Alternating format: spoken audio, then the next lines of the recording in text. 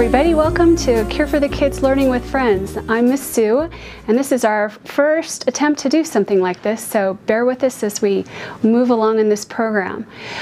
We decided to do this because so many of our parents have shared with us that their kids are really isolated, more so during COVID than during any other time in their treatment, and how important that peer interaction and socialization is for kids this age.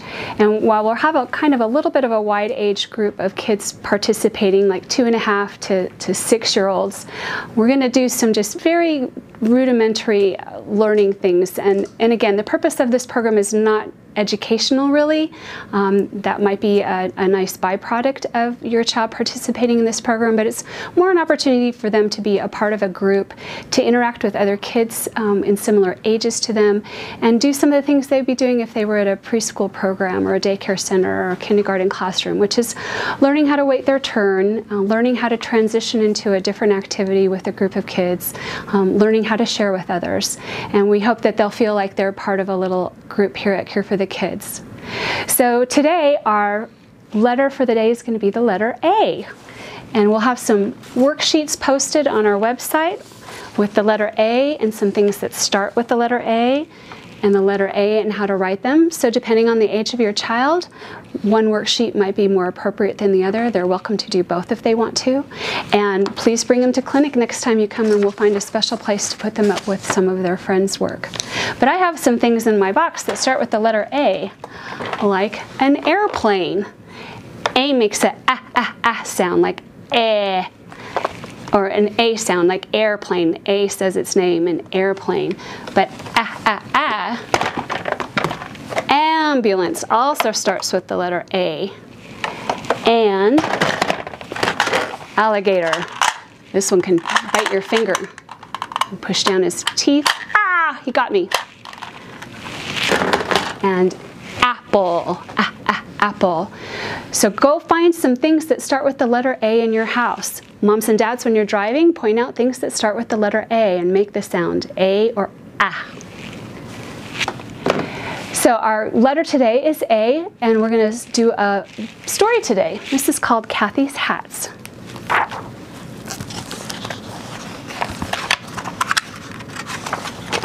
When I was born, I was almost bald. My mother tied a tiny green ribbon to my little puff of fuzz, and that was my first hat. My second hat was a woolen cap my grandmother knitted.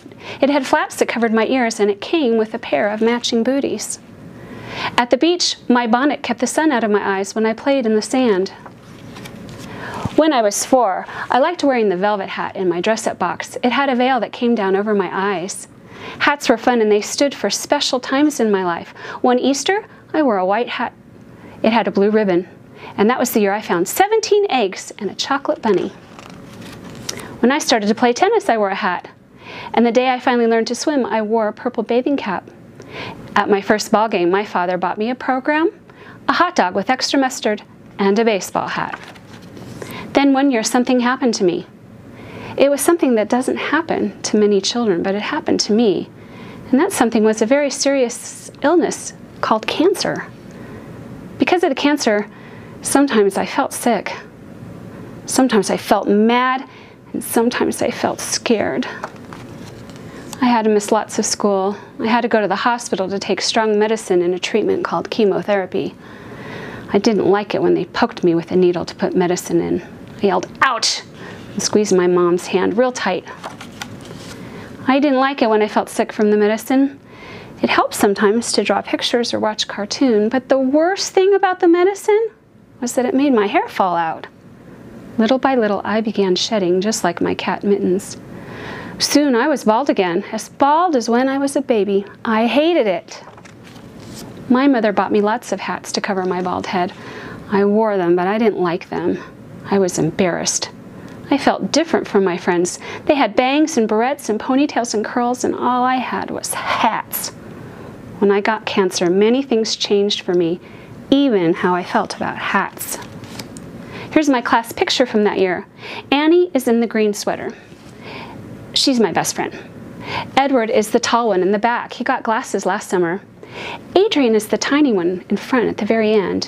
When Mrs. Hoffman asked us to write a story about wishes, Adrian wished that she would grow. I wish that I had my hair back. Do you see me in the middle? I'm smiling in the picture, but I'm not smiling inside. I'm the one in the dumb hat. I complained about my hats a lot, and one morning my mother said that maybe I wasn't wearing the most important hat of all. The most important hat, she said, is something called a thinking cap. A thinking cap is invisible, but it's something you put on to help you think when you're faced with a challenge. My mother said the most important thing about a person is the way she thinks about things. I thought about what my mother had said while I pinned my teddy bear pin to my shirt. This was something I did every day. My friend Megan gave it, me the bear on my last birthday. My name is written across the bear's fat brown tummy. I thought about how happy the bear looked and what I just learned about the thinking cap, so I tried something different that morning. I pinned my teddy bear pin to my hat. I thought it might make my hat look happier. It did. Everyone liked the bear on my hat. At Halloween, my friend Kim gave me a pin of a ghost and a jack-o'-lantern. I put it on my hat. At Christmas, my teacher gave me a Santa Claus pin. When I had to go to a special hospital in Minnesota, my parents got me a pin shaped like the state. In February, the nurses at the hospital where I had radiation therapy pinned a Valentine's heart to my hat. Soon I had lots of pins and I began to like this hat. I wore it every day to school and for my treatments. Sometimes I even forgot I was bald. We had a celebration in school last week. My teacher asked my mother to bring in cupcakes and she told everyone to wear a hat. Almost two years had passed since I got sick and I had some important news to tell. I grinned when I said my chemotherapy treatments were over. The doctors thought my cancer had gone away. Everyone cheered, and then the whole class threw their hats in the air, including me. I'll always have a thinking cap, but I'm excited about going on to other hats when I graduate, when I get married, and someday when I pick out hats for a child of my own. That was a nice story, wasn't it? So now we're going to do our color for the day, and it's the color red. So I had an apple, and that's red. And I have some other things that are red over here. How about a fire engine is red?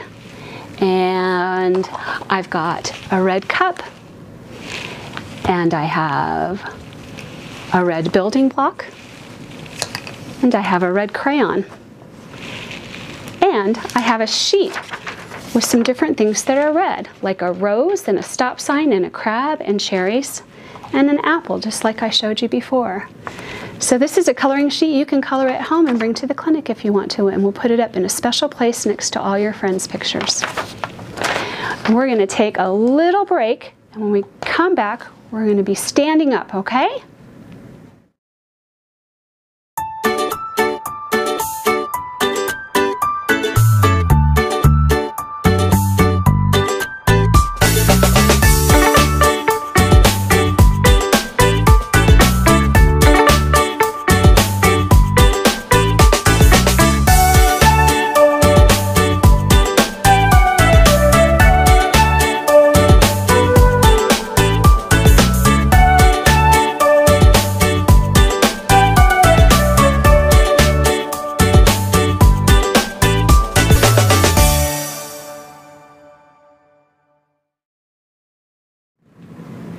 Welcome back to Cure for the Kids Learning with Friends.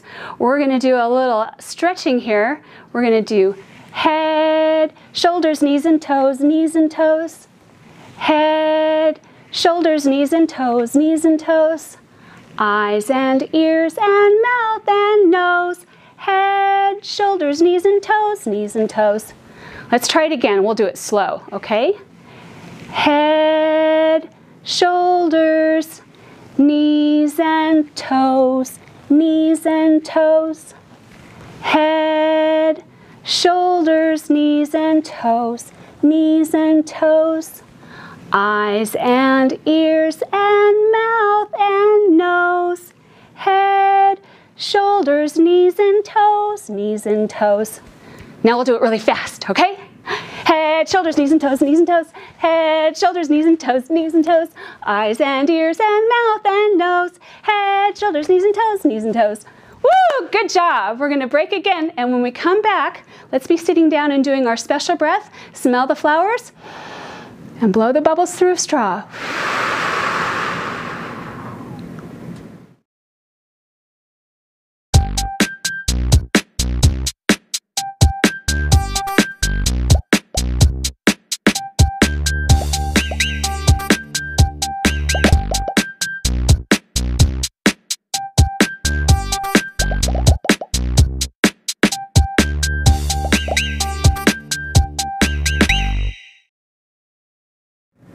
So let's do our special breath again. We're going to smell the flowers and blow bubbles through the straw. Remember to do that special breath anytime you're feeling a little bit worried or scared, okay? Smell the flowers and blow the bubbles.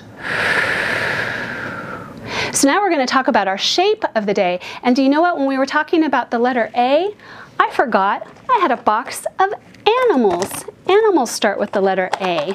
I've got a cow and a horse and a dog and a goat and a bunny and a pig.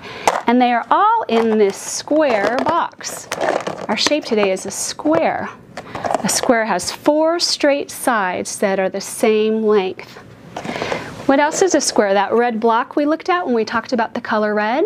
Can you think of some food that's square? How about waffles or toast can be square? Some cereals are square like Rice Chex and Cinnamon Toast Crunch. I bet you could find some other cereals that are squares too. We have a special paper that you can do squares with. You can trace them and color them in, or if you're a big kid and mom and dad says it's okay, you can cut the squares out with scissors and bring your picture into the clinic next time you come and we'll put it up in a special place near all your friends, okay? So that's our shape for the day, the square. Now we're gonna have our friend Jamie. Some of you already know Jamie. Come over and say hi. Hi Jamie, how are you? Hi everyone! So today Jamie's gonna help me teach you about our blood. I know. Usually when you come to clinic, we fill a couple little tubes up with blood, huh? Sometimes kids worry that there's a lot of blood in this little tube, but do you know if we took all your blood out of your body, Jamie, it would fill up a big bucket? It would. So a little tiny tube of blood is not very much. Could you imagine dipping this into a big tub of blood? That wouldn't be very much. And we take this tube to our laboratory and they look at it under a microscope. So Jamie, why don't you sit here and I'll show you what they see when they look at your drop of blood. So I have a drop of blood here. I made it really big, like the microscope makes it when we look at your blood at the clinic. And inside a drop of blood are all sorts of little tiny cells. There's thousands of them in one tiny drop of blood. And there's all different kinds of cells, but we're gonna talk about your red cell. That's the cells that make your blood the color red, which is our color today, isn't it? So this red cell has tennis shoes on it. Can you see that? And that's to help us remember what the red blood cell's job is.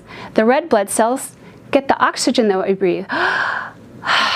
and they carry that oxygen to our brain so we can be awake and pay attention and learn things and not be sleepy and tired. And they take the oxygen to our muscles and our legs and our arms so we have energy and we can run Sometimes when we look at someone's drop of blood and we count all those little teeny tiny red cells in there, there's not enough red cells and that person might be feeling kind of tired and sleepy and they don't want to run very much because it's really hard. They're so tired and we know that they don't have enough of these red blood cells to carry their oxygen. Sometimes when you don't have enough red blood cells, we have you go to the hospital and you get a bag of red blood cells um, through your IV tube, don't you? And then those red blood cells help you feel more energetic and awake, don't they? So that's what our red blood cells do. Now, Jamie is going to play Simon Says with you. So you have to do what Jamie says only when she says, Jamie says. Like instead of Simon says, it'll be Jamie says. But if she doesn't say Jamie says, don't do it, okay? So like we'll practice. Jamie says, touch your nose. Touch your ear. she didn't say Jamie says, so I didn't touch my ear, did I? Jamie says, stand up. Sit down. stand up if you sat down because I didn't say Jamie says. Jamie says, stand up. Jamie says, sit down. Jamie says, pat your head. Jamie says, put your finger on your nose. Put your finger on your toes. I didn't say Jamie says. Now put your finger on your toes. Jamie says, rub your tummy. Stop. I didn't say Jamie says. Jamie's pretty silly, isn't she? All right, well, how about a joke for the day, Jamie? Knock, knock. Who's there? Ach. Achoo. Ha! Bless you, you sneezed. Ha ha ha. All right, very good. We're going to take another little break. So let's do our in through the nose, take a smell the flowers, and blow bubbles through the straw.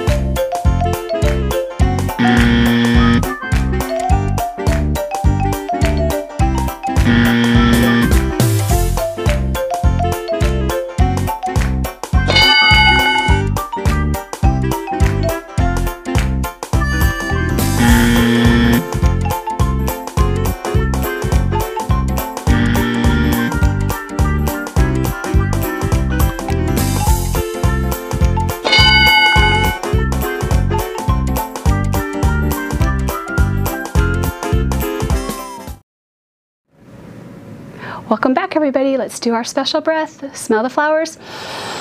Blow the bubbles through the straw.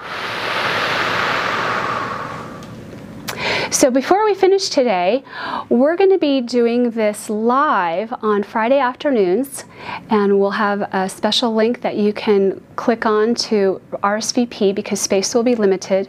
But this will be a live Zoom meeting and we'll be doing pretty much the curriculum that we did today. So we would love to have you guys participate.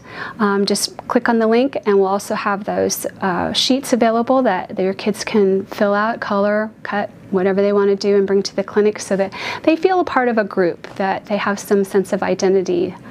And we're going to finish with a little song. Um, moms and dads, this is a great song for the subliminal mes message that it gives, but it's also um, the cadence of breath on this is one that we teach kids when we want to teach them breathing for calmness. So the breath in and then the length of the exhale is, is the verse of the song, and then another breath in and the length of the exhale is, is a really calming breath. Um, but the message in the song is also a really positive one. All the little cells in my body are happy. All the little cells in my body are well. All the little cells in my body are happy. All the little cells in my body are well. All the little cells in my body all the little cells are happy and well. All the little cells in my body, all the little cells are happy and well. All the little cells in my body are happy. All the little cells in my body are well. So maybe sing that at bedtime and sends a positive message to your child's body and calms them down.